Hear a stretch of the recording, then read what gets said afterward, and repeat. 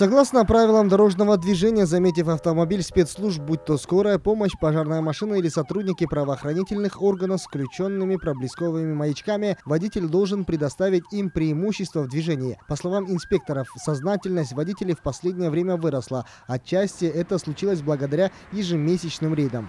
Вот как видите, в городе у нас, э, как школа начались, э, движение потоков очень много стало.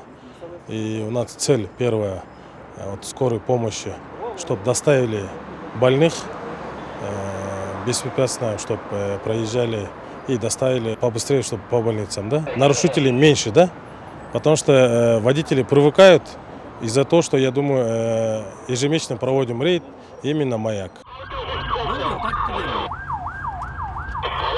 Рейд проводится в целях усиления контроля за транспортной дисциплиной водителей на территории столицы. Так, карета скорой помощи в сопровождении сотрудников УПСМ проехала по центральным улицам города. В большинстве случаев водители уступали дорогу спецмашине, но нашлись и нерадивые водители, которые не стали этого делать. Как итог, штраф 10 тысяч сомов.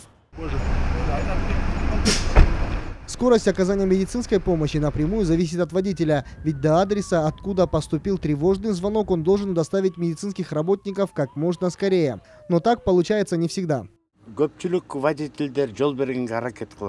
В последнее время многие водители стараются уступить дорогу. Просто на наших улицах слишком много транспорта. Но вместе с тем есть и водители, которые напрочь не хотят этого делать. Но они должны помнить, что в такие моменты счет идет на секунды. В результате рейдового мероприятия с водителями проведены профилактические беседы о недопущении подобных действий, а также составлены 7 протоколов на общую сумму 70 тысяч сомов. Цель проверок – напомнить водителям, что от скорости, с которой врачи доберутся до места вызова, зависит жизнь человека. Дастан Касканов, Ирлан Джунушалиев, Тимур Садагалиев, Алато 24.